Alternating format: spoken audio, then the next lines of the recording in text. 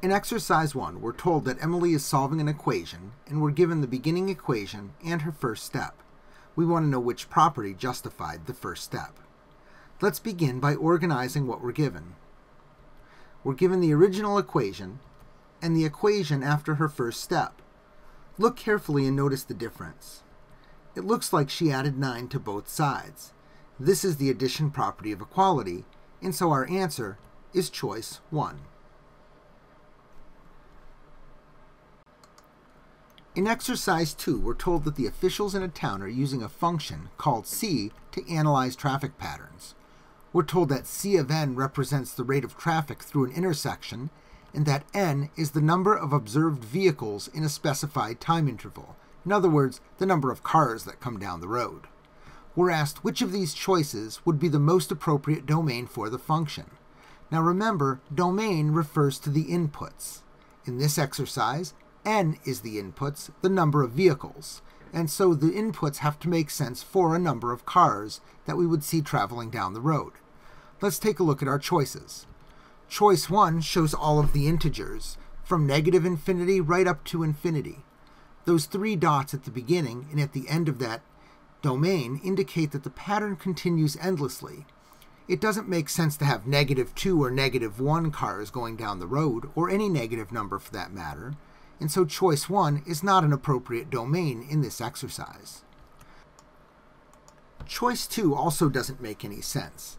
Choice 2 shows the values negative 2, negative 1, 0, 1, 2, or 3. While 0, 1, 2, and 3 are valid values for this function, we could have 0 cars, 1, 2, or 3 cars going down the road, we'll never see a negative number of cars, and negative 2, negative 1 would not be valid inputs, so choice 2 is not appropriate. Choice 3 has some values that are also not appropriate. 1 half, 1 and a half, 2 and a half. I've never seen a half of a car going down the road, and so that's not an appropriate value in our domain. The last choice is simply the whole numbers, 0, 1, 2, 3, etc. This does make sense in our problem, the number of vehicles, and so choice 4 is our answer as the most appropriate domain for the function. In exercise 3, we're given two polynomials, and we're asked to find the difference a minus b.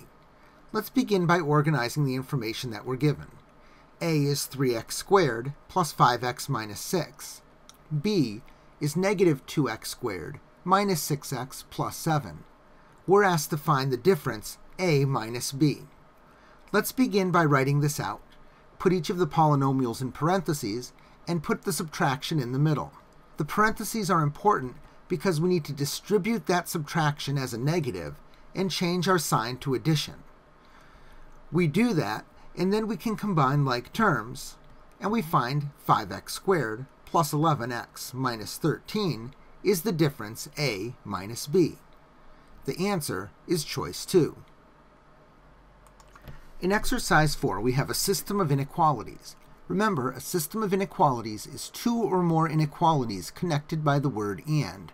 When we solve a system of inequalities, we're looking for the values, x and y, that make both of the inequalities true simultaneously. We can solve a system of inequalities by shading and finding the area that is shaded by both of them. The values in that area shaded by both are the solutions to the system of inequalities. In this exercise, we begin by putting both of the inequalities into slope-intercept form. When we do that with the first one, we see that the slope is negative 1 and the y-intercept is 2. Notice that the inequality symbol is greater than, which means we'll be shading upward from the line, and will be, it'll be a dashed line because it's not equal to, it's simply greater than values. It doesn't include the values on the line. The second inequality is already in slope-intercept form. We see that we have a slope of 3, a y-intercept of negative 2, and that the symbol is less than or equal to. For that inequality, we'll be shading downward from the line, and that will be a solid line because the values are equal to, so the line is included. When we graph our inequalities, we begin by graphing and then shading. Here's our first one shaded, greater than negative x plus 2. Notice the line is dashed because the symbol simply says greater than, not greater than or equal to. We can now graph and shade our other inequality. The area shaded by both is known as the solution set. Take a look at the four choices. It looks like choice 1 and choice 2 very closely match our graph. But what's the difference between those two? If we look closely, we see one of them has a solid line and one of them has a dashed line. Which one is correct? Comparing to our original graph, which showed y was greater than negative x plus 2, that line should be dashed. And so the answer is choice 2. In exercise 5, we're asked which value of x satisfies the given equation. Remember, what that means is what value of x makes this equation true. There are a couple of different ways you could approach a problem like this. The first way is to solve the equation, and this is kind of a challenging one. We could solve this equation by clearing the fractions. Begin by multiplying both sides by 3. Then distribute the 7. Again, we have another fraction to clear, so we can multiply by 28, and then solve the resulting equation. When we do that, we find that x equals 8.25, and so our answer is choice 1.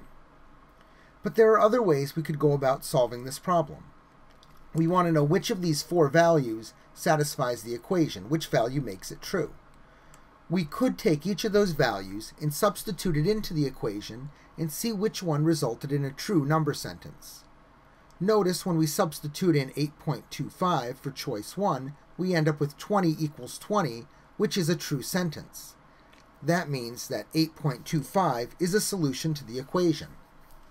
When we try choice 2, 8.89, we end up with 21.493 repeating equals 20, which is clearly false.